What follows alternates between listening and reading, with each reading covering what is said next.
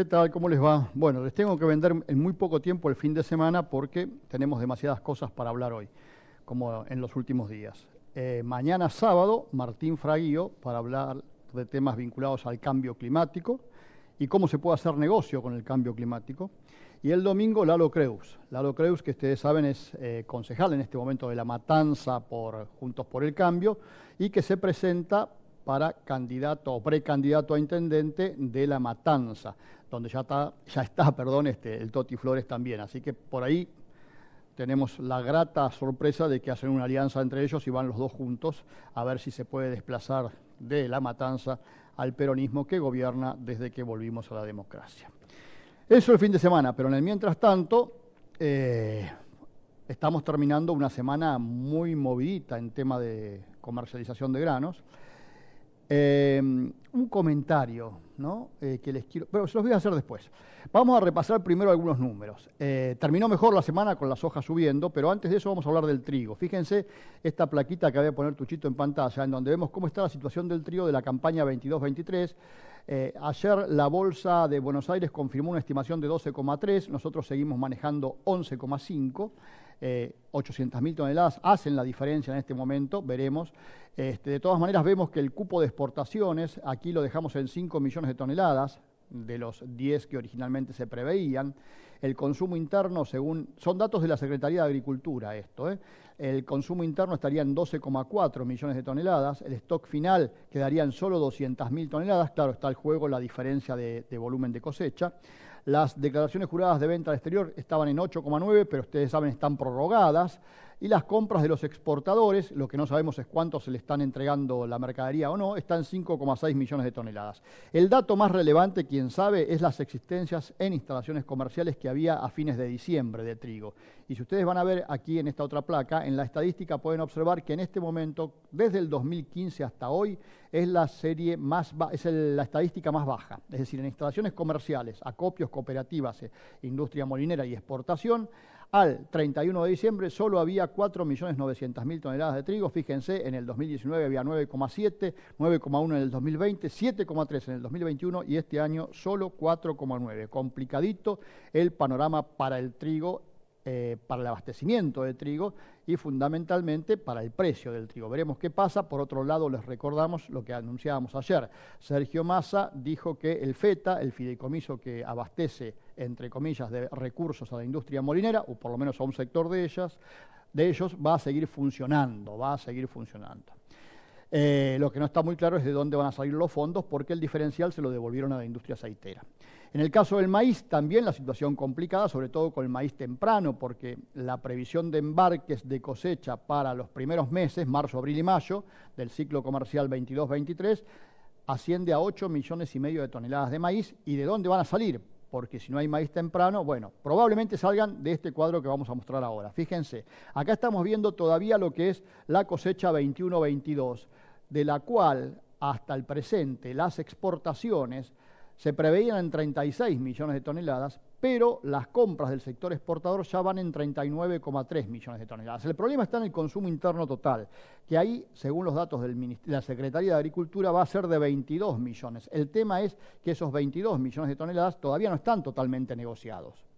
Hay una parte que todavía la industria y también los consumos tienen que ir comprando y hoy están pagando los consumos, sobre todo cualquier precio para que le venda el maíz.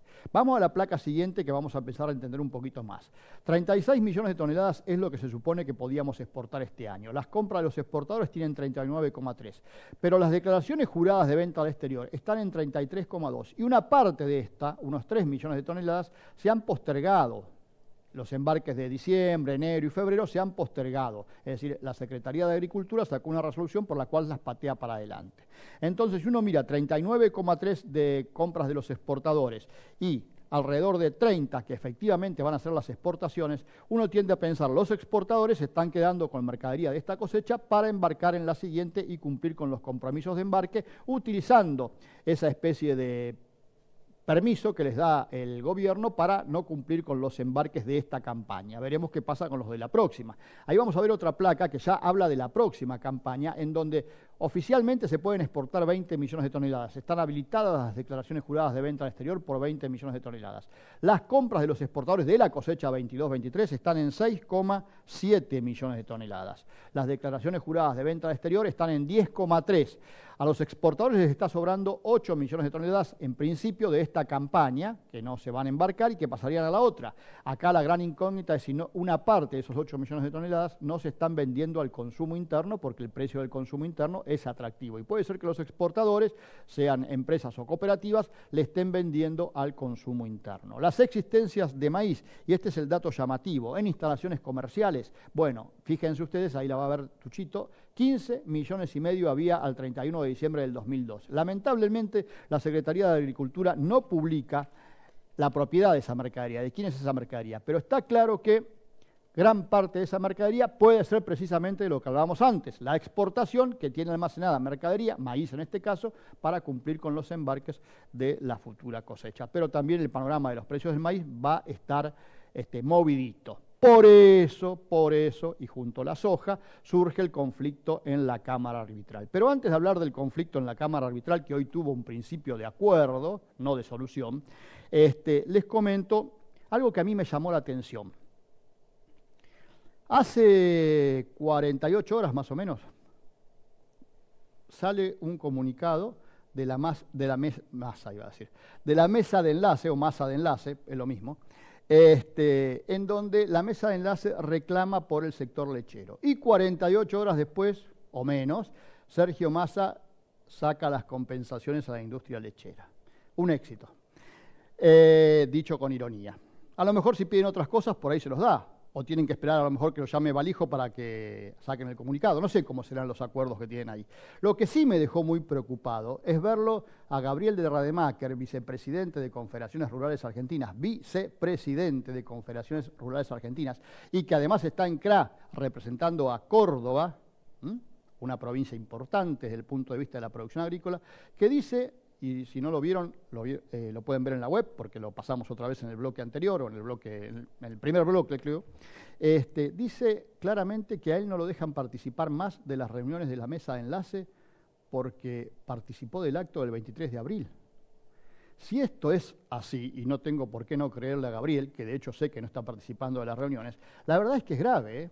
Yo no sé si los productores saben que la mesa de enlace está funcionando de esa manera, con un vicepresidente de una entidad que en realidad la que está funcionando mal es la entidad, que lo aísla o no lo deja participar de las reuniones de la mesa de enlace porque él participó de un acto el 23 de abril, el tractorazo ese que vino a Buenos Aires. Es grave, es grave. ¿eh?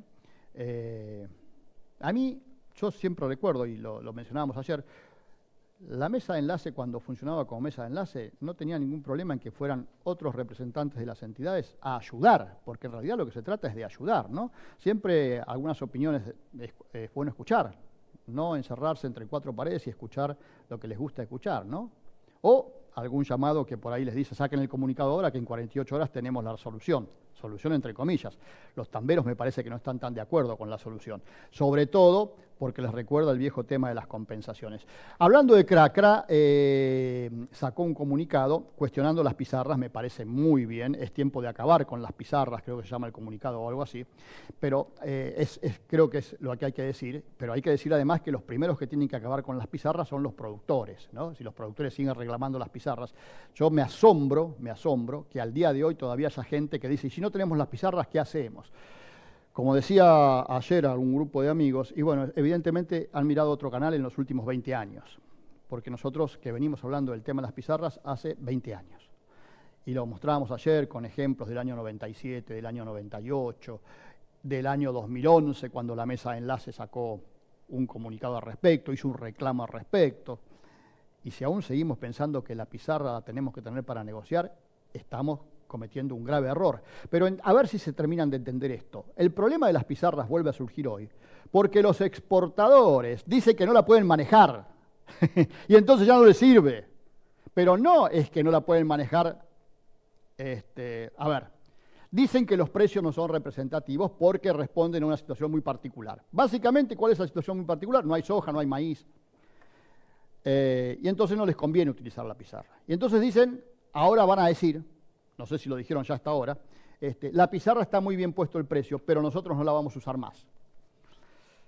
Eh, ¿Entienden, no? A ver, no pateamos el tablero porque queda mal decir que es un mamarracho. Ya dijimos que no la podemos manejar.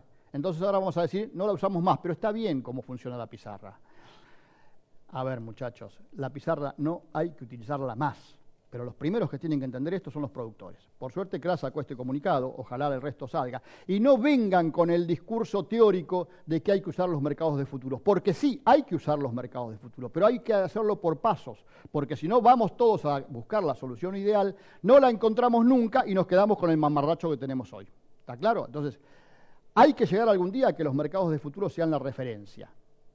Pero ese día todavía en la Argentina está muy lejano. Los mercados de futuro no tienen volumen, suficiente que nos garantice que esto puede, puede, ser utilizado. Hay productos que sí, la soja podría ser, el girasol de ninguna manera. Entonces, para llegar a eso, primero tengo que ordenar el mercado del disponible. Y el mercado disponible se puede ordenar, sí, tiene una legislación que avala que se puede ordenar, que es el famoso sí o granos. Y es responsabilidad de las bolsas dar esa información. Lo establece la normativa vigente, no lo invento yo. Están las normativas vigentes. Las cámaras no tienen la obligación de poner precios. Las bolsas sí, porque está en la normativa vigente. Insisto, acá el que quiera venir a buscar las resoluciones, se las puedo dar. No se les voy a leer a ustedes porque son muy largas, pero están.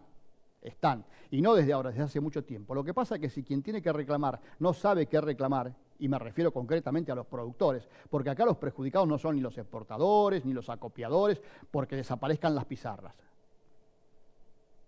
Porque desaparezcan las pizarras, los beneficiados van a ser los productores si saben utilizar los mercados, si saben utilizar a los agentes comerciales buenos que tiene la Argentina, corredor, acopio y cooperativa, a los tres, y después llegar a la demanda.